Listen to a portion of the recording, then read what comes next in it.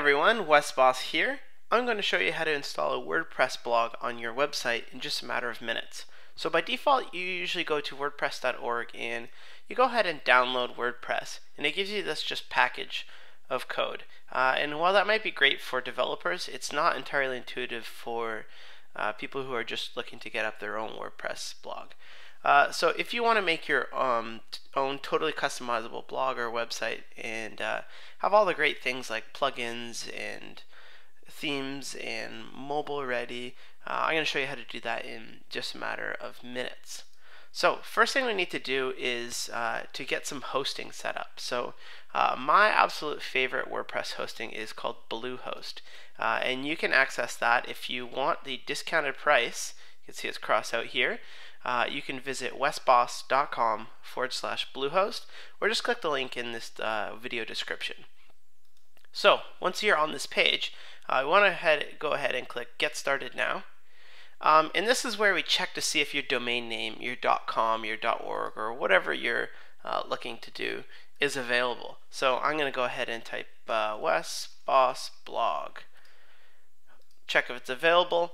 If it's available, it will go to the next steps. There we go. If it's not, it'll make some suggestions for you. Uh, so this is the part where we can go ahead and sign up. So I'm going to autofill that in there. And um, this is the account plan here. It's cheaper if you sign up for 36 months. Definitely recommend it. However, there is a cheaper option if you just want to go one, one month uh, at a time. Uh, we've got a couple checkboxes here, which sometimes people get uh, a little distracted by. You don't need any of them uh, unless you're specifically looking for one of these services, but go ahead and uncheck them. Credit card info down here, uh, and go ahead and click on the next button. Uh, I'm not going to go through this just because I already have my own hosting set up, uh, but you click next and it's going to email you a username and password. So from our next steps there, we just go to bluehost.com and click on the login button in the top right hand corner. What this is going to do is it's going to prompt you for your uh, username and password that they sent you in an email.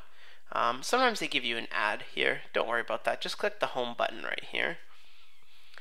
And this is what we call our Bluehost main page or kind of the cPanel main page. Uh, and from here we're able to do pretty much anything with our website. You may eventually uh, get into things like setting up email or uh, adding more domain names on or uploading your own files. But for now we're going to focus on um, installing WordPress. So to do it really, really quickly, we go ahead and go to website, click install WordPress.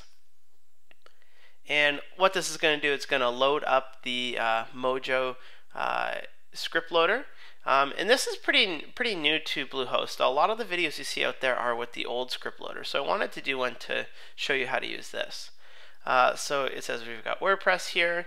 Uh, go ahead and click install. And now it's going to ask us where do we want to install WordPress to. So like what will the domain name be? So uh, if you click from this drop down, you probably right now only have one domain in this list because you've only signed up with one domain. Uh, so go ahead and click that domain name. Um, I'm going to go ahead and go on bosstype.com. Um, that's kind of my main company domain name.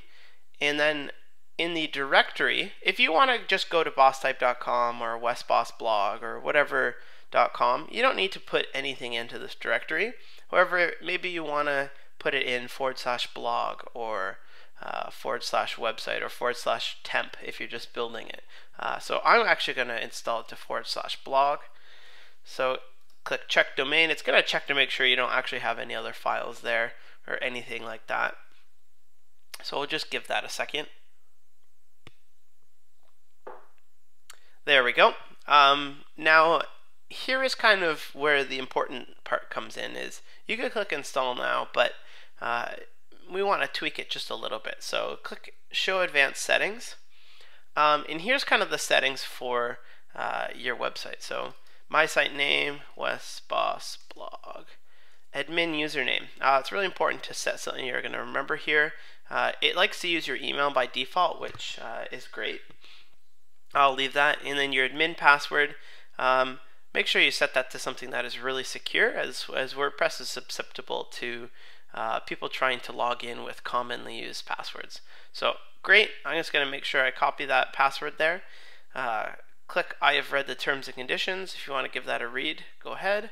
Click install now. And this will take probably a minute or so.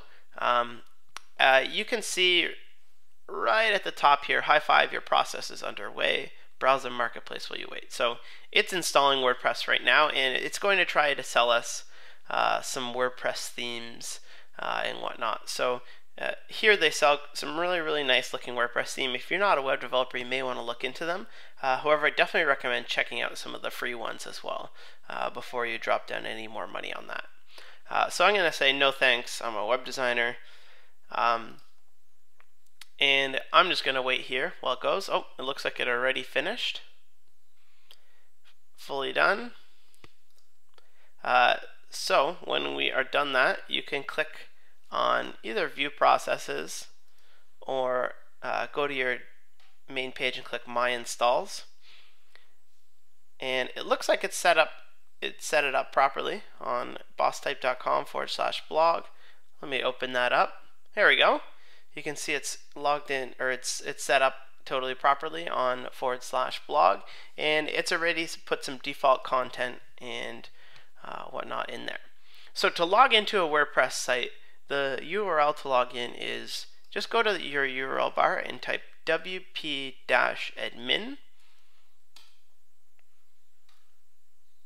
and it's going to prompt you for your username and password. So uh, let's see what we did before there. If you ever forget this, you can click lost your password and it will send it to you. So click login. There we go. Now I'm totally logged in. WordPress is set up. Um, from here, you can kind of have a little play around with uh, some of the features of WordPress. If you've never used WordPress before, it's a it's another video, but uh, we've got posts here. You can see there's a default post that you can edit. Um, we've got pages where you can add pages to your website. What you're probably looking for is the appearance. Now the appearance is a total customization of your themes. So WordPress comes with three themes by default. You can click customize on the, the one that's already activated and you've got all kinds of really great options here. You can change your site title, the tagline, uh, you can change the colors that are, are being used. Uh, maybe I like to use a little bit of green. Change the background color. You can change the header image, upload it, background image, all kinds of stuff for it. When you're done, go ahead and click Save and Publish. Close this down. And if I go to my WordPress blog on the front end, you'll see that those changes have already been reflected. So uh, there's also an option to add new themes here, which will uh, is really great because you can search around for uh, some popular themes, hover over them, click install, and you are off to the races. I just clicked activate there, and now when I refresh this, I've got a totally different theme on my blog. So hopefully that was a really good introduction to you. Uh, remember to use the URL below to get discounted Bluehost hosting, and let me know if you have any questions. Thanks a lot. See you guys later.